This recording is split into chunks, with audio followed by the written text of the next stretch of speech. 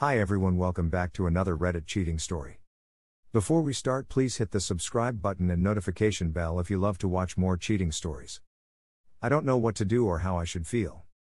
I, 19F, have been with my partner, 21 meters, for 4 years. All my life I have known abuse of all forms equals love, from my parents' relationship and previous partners. I'm really just looking for a place to vent because I really have nobody and another pair of eyes to analyze the situation. Please let me know if I need to post this in another forum. All of my family is in an entirely different state, and if I were to tell them it would be really bad, and I just recently finished schooling to become licensed for this state and don't want to even begin thinking about becoming relicensed and having to leave everything I've built for myself and restart again. I apologize for the rambling, but I feel as though this is important before I continue. I don't know if I am capable of leaving and I am terrified. When we first had gotten together, it was perfect, and he was like a breath of fresh air for me.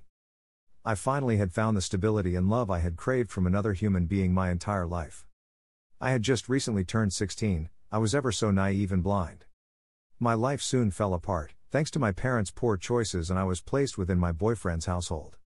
I thought things could only go uphill for me, I now lived with the love of my life, and I was so thrilled to be able to be next to one another day in and day out. Mind you, he was the one that insisted I move in with him. It was either that or foster care, and I would have eventually been able to go home and be placed with my family. I was so full of love and happiness, and then one day a switch just went off in his brain. He became cold and cruel, and something inside of me told me to go through his phone. I had never been the jealous or overprotective type, female friends never bothered me, and my boyfriend could do as he pleases because I thought that the love and respect was mutual. I found so much. That was my life consistently for the next three years. I would find him sexting women, looking up their OnlyFans, nudes, etc. All while I was laying slash sitting next to him, he was doing these things to me and treating me like a dog. He would cry, apologize, tell me he doesn't understand why he does these things to me, and of course, I am so dumb and naive I believed it. I didn't want to believe the man that I had chosen over my family would do this to me, I was ready to build a life around him. U.S. This continued, the emotional and physical abuse continued all whilst he would berate me and accuse me of cheating. I feel like this is important to add, but I am fiercely loyal and considerate of other feelings, and once he graduated school, I am an idiot. To make him feel more secure that no man was speaking to me, I pulled out of a physical school and completed the rest of my education online. I couldn't imagine him feeling the way I did, so I would go above and beyond to make sure he felt secure whilst I was literally rotting from the inside out. I closed myself off from everyone, my only contacts being him, his family, my family that I would speak to over the phone and occasionally visit for holidays. I was able to finish my schooling a year early and apply to college, I was accepted and began my program. At this point in our relationship, I was finally beginning to heal and overcome the cheating, the emotional and physical abuse I had been put through. Two weeks into my schooling, I woke up to get ready and something just told me again go through his phone. I did. I had found a secret Snapchat that he created, I already caught him using it a while ago, but he insisted that he doesn't use it anymore.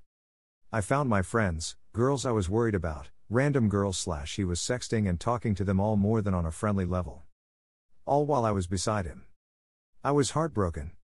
Once again, the crying, apologizing began. I had just begun college. I couldn't leave. I paid for everything, how could I just up and leave now? I caved and stayed, just as I always have.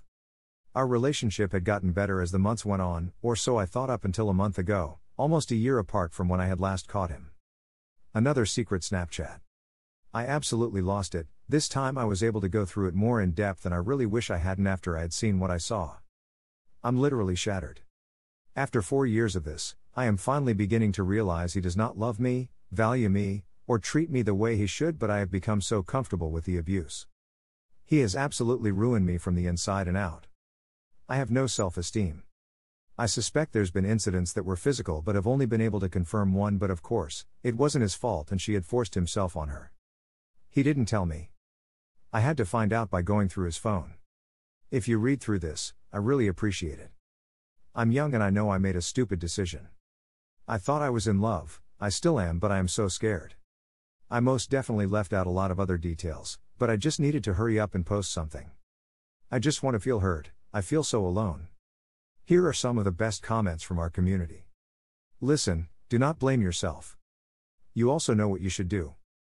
I'm sorry that you've been surrounded by such pos so far in your life. But at least, you can see and realize how badly your boyfriend treats you.